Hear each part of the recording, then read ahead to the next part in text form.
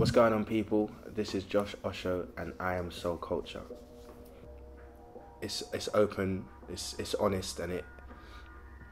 I feel like there's no there's no distinction between or differentiation between me and the person you see on stage or the the sounds that you hear on record. I feel like wherever you see me interacting with the world, you get a strong sense of who I am, um, and I think that's a huge part of the fact that the way I was brought up was very open and very much about connecting with that part of yourself. So for every action, there's an equal and opposite reaction, and so when you make the decision to make a, an action, whatever reactions come as a byproduct, that you have to be responsible for them and you have to accept them, even if they're uncomfortable and even if you didn't predetermine those things coming. And I made a decision to sign my deal.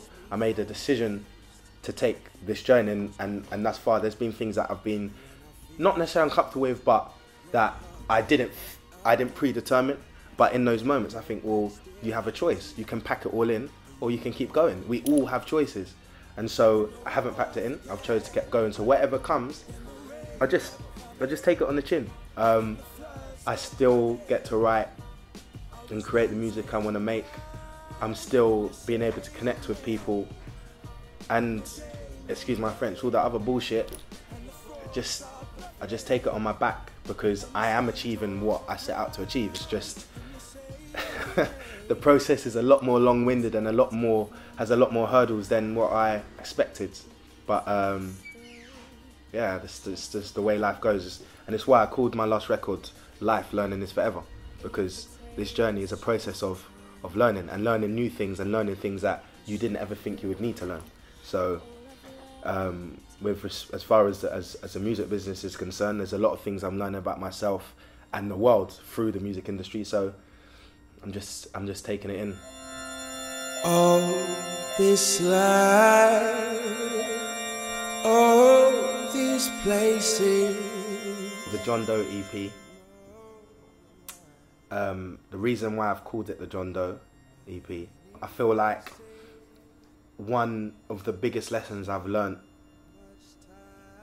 as a person as well as as a musician is to accept that we're, we're no more than mortals, we're no more than vessels. And so our existence here is as much about everyone else and everything else as it is about ourselves and the reality that we want or that we want to define or create.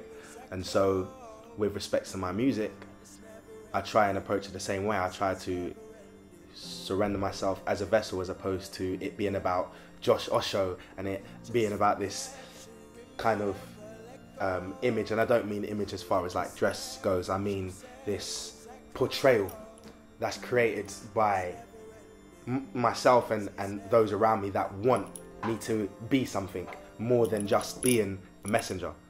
Um, and I, I think the message is always more important than the messenger. And I think sometimes, um, especially with music, the emphasis isn't necessarily placed on the message, it's, it's placed on the messenger. So it's like, look like this, sound like this, appear like this in the media, appear like this on TV, and let's worry about the music later.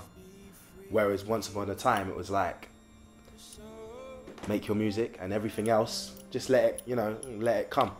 Um, and I, I found, even myself, sometimes I used to kind of put labels of things that I would start maybe a riff or start a lyric and be like, oh, that doesn't sound like Josh Osho. Who the hell's Josh Osho? I am what, what the world makes me or what the universe makes me, not what my small mind that can only perceive 21 years of my life thus far um, uh, discerns. The EP essentially just about anonymity and standing back and, and kind of putting to death all the labels and all the titles and all the boxes people want to stick on you and, and sometimes you put on yourself. Um, and so, yeah, that's why it's called the John Doe EP. Um, because obviously a John Doe or a Jane Doe is someone that's anonymous, has no, uh, I guess, social or political or, or legal um, standing.